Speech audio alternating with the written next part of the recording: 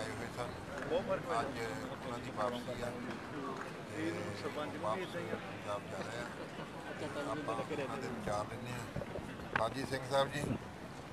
ਵਾਹਿਗੁਰੂ ਜੀ ਕਾ ਖਾਲਸਾ ਵਾਹਿਗੁਰੂ ਜੀ ਕੀ ਫਤਿਹ। ਹਾਂਜੀ ਅੱਜ ਇਹ ਵਾਪਸੀ ਜੀ ਜਾ ਰਹੇ ਤੇ ਸਾਡਾ ਦਿਲ ਬੜਾ ਅਦਾਸ ਜਿਹਾ ਹੋ ਰਿਹਾ। ਕੋਈ ਨਹੀਂ ਜੀ ਇਸ ਵਾਹਿਗੁਰੂ ਦੇ ਹੁਕਮ 'ਚ ਪਰਮਾਤਮਾ ਕਿਰਪਾ ਕਰੇ ਆਪਾਂ ਫੇਰ ਜਿਹੜਾ ਹੈ ਜਲਦੀ ਜਿਹੜਾ ਹੈ ਉਹ ਇੰਡੀਆ ਦੇ ਵਿੱਚ ਮਿਲਾਂਗੇ ਬੈਠਾਂਗੇ ਗੱਲਬਾਤ ਕਰਾਂਗੇ। ਬਹੁਤ ਪਿਆਰ ਇੰਗਲੈਂਡ ਦੀ ਸਿੱਖ ਸੰਗਤ ਨੇ ਬਖਸ਼ਿਆ ਹੈਗਾ ਤੇ ਮੈਂ ਇਸ ਲਈ ਇੰਗਲੈਂਡ ਦੀਆਂ ਜਿੰਨੀਆਂ ਵੀ ਗੁਰਦੁਆਰਾ ਪ੍ਰਬੰਧਕ ਕਮੇਟੀਆਂ ਨੇ ਉਹਨਾਂ ਦਾ ਸਭ ਦਾ ਤੇ ਇੰਗਲੈਂਡ ਦੀ ਸਾਰੀ ਸੰਗਤ ਦਾ ਜਿਹੜਾ ਕੋਟ-ਕੋਟ ਧੰਨਵਾਦ ਕਰਦਾ ਕਿ ਉਹਨਾਂ ਨੇ ਗੁਰੂ ਘਰ ਦੇ ਇਸ ਨਿਮਾਣੇ ਦੀ ਸੇਵਾਦਾਰ ਨੂੰ ਬਹੁਤ ਹੀ ਜ਼ਿਆਦਾ ਮਾਣ ਬਖਸ਼ਿਸ਼ ਕਰਕੇ ਕਰਤਾਰਥ ਕੀਤਾ। ਦੂਸਰੀ ਗੱਲ ਸਿੰਘ ਸਾਹਿਬ ਜੀ ਤੁਸੀਂ ਇੱਥੇ ਆਏ ਹੋ ਇੰਗਲੈਂਡ ਦੀ ਧਰਤੀ ਤੇ। ਤੁਸੀਂ ਕੀ ਮਹਿਸੂਸ ਕੀਤਾ ਕਿ ਆਪਾਂ ਸਾਰੇ ਜਿੱਦਾਂ ਸਿੱਖ ਪੰਥ ਨੂੰ ਤੁਹਾਡਾ ਜਿਹੜਾ ਮਿਸ਼ਨ ਆ ਵੀ ਆਪਾਂ ਇੱਕ ਨਿਸ਼ਾਨ ਸਾਹਿਬ ਥੱਲੇ, ਸ੍ਰੀ ਅਕਾਲ ਤਖਤ ਸਾਹਿਬ ਦੀ ਸਰਬੱਤਾ ਦੇ ਥੱਲੇ ਸਾਰੇ ਸਿੱਖਾਂ ਨੂੰ ਇਕੱਠਾ ਕਰਕੇ ਸਿੱਖਾਂ ਦੇ ਵਿੱਚ ਜਿਹੜੀਆਂ ਆਪਣੀਆਂ ਭਾਵਨਾਵਾਂ ਪ੍ਰਗਟ ਕਰਨ ਵਾਸਤੇ ਜਾਂ ਸਿੱਖਾਂ ਨੂੰ ਹੋਰ ਜਿਹੜੇ ਦਰਪੇਸ਼ ਮੌਕੇ ਆਉਂਦੇ ਆ ਕਈ ਤਰ੍ਹਾਂ ਦੀਆਂ ਚੁਣੌਤੀਆਂ ਆਉਂਦੀਆਂ।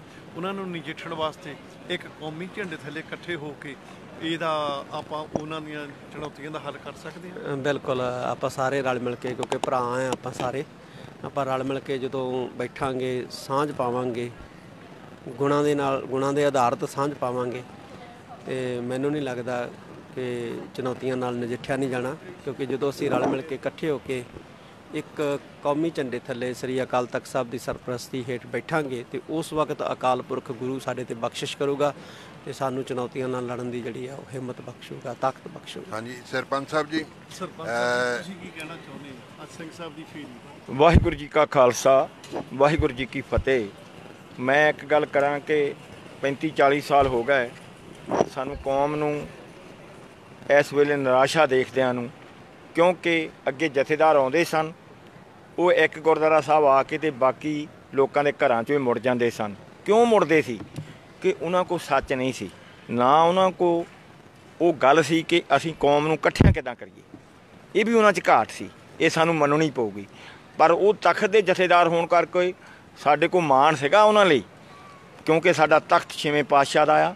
ਇਸ ਕਰਕੇ ਸਾਨੂੰ ਵਿਦਵਾਨ ਤੇ ਸੂਝਵਾਨ ਇਹ ਜਥੇਦਾਰ ਸਾਹਿਬ ਮਿਲੇ ਆ ਜੋ ਕੌਮ ਨੂੰ ਸਾਰਿਆਂ ਨੂੰ ਜਿੱਦਾਂ ਉਹਨੇ ਕਿਹਾ ਕਿ ਸਾਡਾ ਬੈਰ ਵਿਰੋਧ ਕਿਸੇ ਨਾਲ ਬਣੀ ਹਨਾ ਜੀ? ਇਸ ਕਰਕੇ ਅਸੀਂ ਕੌਮ ਨੂੰ ਇਕੱਠਿਆਂ ਕਿਦਾਂ ਕਰਨਾ, ਕੌਮ ਨੂੰ ਬਚਾਉਣਾ ਕਿਦਾਂ, ਇਹ ਜਥੇਦਾਰ ਕੋ ਸਿਧਾਂਤ ਆ ਉਹਨਾਂ ਦੇ ਕੋਲ, ਕਿਉਂਕਿ ਜਿਹੜੀ ਸਾਡੇ ਵਿੱਚ ਦੁਬਧਾ ਪਈ ਆ, ਉਹ ਜਥੇਦਾਰ ਸਾਹਿਬ ਵਰਗੇ ਵਿਦਵਾਨ ਉਹ ਕੱਢਣ ਕੱਢ ਸਕਦੇ ਆ।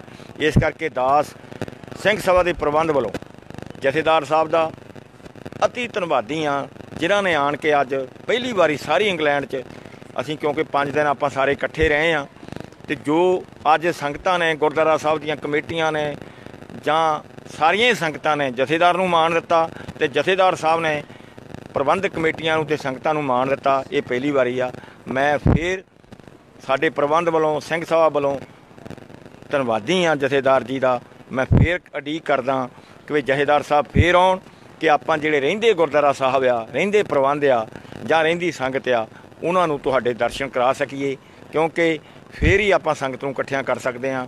ਤੇ ਮੈਂ ਬੇਨਤੀ ਕਰੂੰਗਾ, ਜਿਵੇਂ ਅੱਜ ਐਤਕੀ ਇੰਗਲੈਂਡ ਦੀ ਫੇਰੀ ਮਾਰੀ ਆ, ਜੋ ਦੁਨੀਆ 'ਚ ਉਹ ਗੱਲ ਗਈ ਆ, ਮੈਂ ਕਹਿੰਦਾ ਅਮਰੀਕਾ ਵਿੱਚ, ਯੂਰਪ ਵਿੱਚ, ਕੈਨੇਡਾ ਵਿੱਚ, ਸਾਰੇ ਸਿੰਘ ਸਾਹਿਬ ਨੂੰ ਜਾਣਾ ਚਾਹੀਦਾ, ਜੋ ਕਿ ਇੱਕ ਝੰਡੇ ਥੱਲੇ ਇਕੱਠੇ ਹੋ ਸਕੀਏ।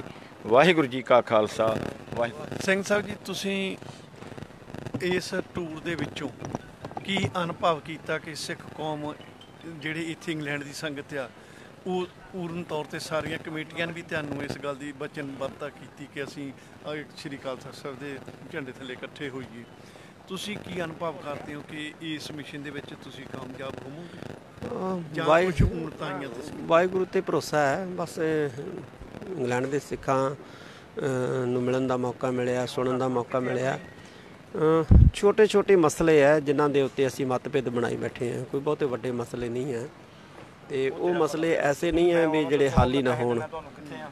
ਜੇ ਅਸੀਂ ਰਲ ਮਿਲ ਕੇ ਬੈਠੀਏ, ਗੱਲਬਾਤ ਕਰੀਏ, ਤਾਂ ਕੁਛ ਨਾ ਕੁਛ ਕੁਛ ਨਾ ਕੁਛ ਜਿਹੜਾ ਅਸੀਂ ਮਸਲੇ ਜਿਹੜੇ ਆ, ਉਹ ਹੱਲ ਕਰ ਸਕਦੇ ਹਾਂ ਤੇ ਜਦੋਂ ਮਸਲੇ ਹੱਲ ਹੋ ਗਏ, ਅਸੀਂ ਆਪੇ ਸਾਰੇ ਇਕੱਠੇ ਇੱਕ ਝੰਡੇ ਥੱਲੇ ਬੈਠ ਜਾਾਂਗੇ।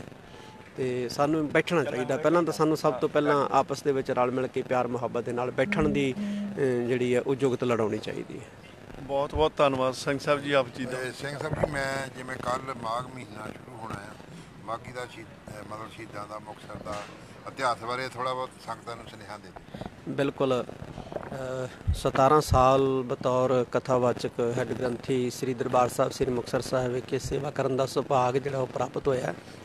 ਸ੍ਰੀ ਮੁਕਤਸਰ ਸਾਹਿਬ ਦੀ ਪਾਵਨ ਧਰਤੀ ਉਹ ਪਾਵਨ ਧਰਤੀ ਹੈ ਜਿੱਥੇ ਧੰਨ ਗੁਰੂ ਗੋਬਿੰਦ ਸਿੰਘ ਪਾਤਸ਼ਾਹ ਜੀ ਨੇ ਜਦੋਂ ਅਨੰਦਪੁਰ ਸਾਹਿਬ ਦਾ ਵਸੇਵਾ ਛੱਡਿਆ ਸੀ ਤਾਂ ਮਾਛੀਵਾੜਾ ਚਮਕੌਰ ਸਾਹਿਬ ਆਦਿਕ ਸਥਾਨਾਂ ਤੋਂ ਹੁੰਦੇ ਹੋਏ ਇੱਥੇ ਪਹੁੰਚੇ ਸੀ। ਤੇ ਇੱਥੇ ਅ, 21 ਵਿਸਾਖ ਸੰਮਤ 1762 ਨੂੰ ਮੁਗਲ ਸਾਮਰਾਜ ਦੇ ਨਾਲ ਪੰਜ ਭੌਤਿਕ ਤਨ ਦੇ ਵਿੱਚ ਵਿਚਰਦਿਆਂ ਗੁਰੂ ਗੋਬਿੰਦ ਸਿੰਘ ਪਾਤਸ਼ਾਹ ਜੀ ਦੀ ਆਖਰੀ ਜੰਗ ਹੋਈ ਸੀ। ਇਸ ਜੰਗ ਦੇ ਵਿੱਚ ਵੀ ਗੁਰੂ ਗੋਬਿੰਦ ਸਿੰਘ ਮਹਾਰਾਜ ਨੂੰ ਫਤਿਹ ਨਸੀਬ ਹੋਈ ਸੀ।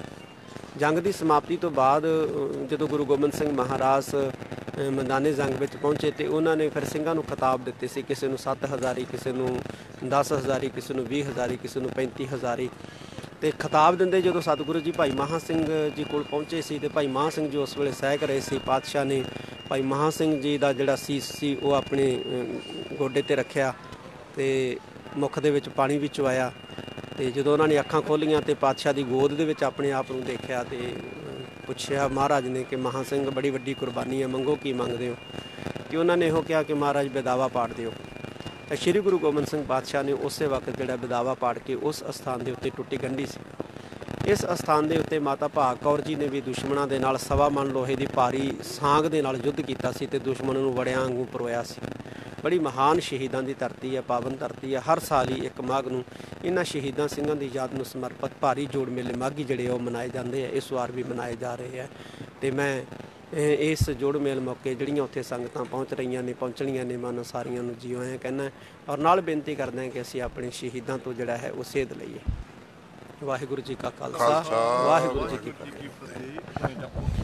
ਦਰਸ਼ਕੋ ਇਹ ਸਨ ਸਿੰਘ ਸਾਹਿਬ ਗਿਆਨੀ ਹਰਪ੍ਰੀਤ ਸਿੰਘ ਜੀ ਜਥੇਦਾਰ ਸ੍ਰੀ ਅਕਾਲ ਤਖਤ ਸਾਹਿਬ ਜੋ ਇਸ ਵੇਲੇ ਸੈਂਸਟਡ ਜਿਹੜਾ 에ਅਰਪੋਰਟ ਆ ਲੰਡਨ ਦੇ ਵਿੱਚ ਉੱਥੋਂ ਜਿਹੜੇ ਉਹਨਾਂ ਨੂੰ ਵਧਾਈਗੀ ਦੇਣ ਵਾਸਤੇ ਗੁਰਦੁਆਰਾ ਸਿੰਘ ਸਭਾ ਦੇ ਪ੍ਰਬੰਧਕ ਉਹ ਪਹੁੰਚੇ ਹੋਏ ਆ ਤੇ ਬਹੁਤ ਅਹ, ਥੋੜ੍ਹੀ ਜਲ ਮਤਲਬ, ਸਮੇਂ ਦੇ ਵਿੱਚ ਜਿਹੜੀ ਆ ਉਹਨਾਂ ਦੀ ਫਲਾਈਟ ਅੰਮ੍ਰਿਤਸਰ ਨੂੰ ਜਾਵੇਗੀ। ਸੋ ਅਸੀਂ ਜੋ ਉਹਨਾਂ ਦੀ ਇੰਗਲੈਂਡ ਦਾ ਫੇਰੀ ਦੌਰਾਨ ਆਵਾਜ਼ੇ ਕੌਮ ਨੇ ਕੋਸ਼ਿਸ਼ ਕੀਤੀ ਹੈ ਕਿ ਹਰ ਥਾਂ ਤੋਂ ਜਿਹੜੀ ਵੀ ਉਹਨਾਂ ਦੀ ਐਕਟੀਵਿਟੀ ਆ, ਉਹ ਆਪ ਸੰਗਤਾਂ ਨਾਲ ਸਾਂਝੀ ਕੀਤੀ ਜਾਵੇ। ਸੋ ਇਸ ਕਰਕੇ ਅਸੀਂ ਅੱਜ 에ਅਰਪੋਰਟ ਤੇ ਵੀ ਉਹਨਾਂ ਦਾ ਜਿਹੜਾ ਸਾਰਾ ਇਹ ਦਿਖਾ ਰਹੇ ਹਾਂ। ਸੋ ਬਹੁਤ ਬਹੁਤ ਧੰਨਵਾਦ। ਫਿਰ ਜਦੋਂ ਅਗਲਾ ਵਾਹਿਗੁਰੂ ਜੀ ਕਾ ਖਾਲਸਾ ਵਾਹਿਗੁਰੂ ਉਹ ਕਹਿੰਦਾ ਮੈਂ ਕੋਟ ਬਦਲਿਆ।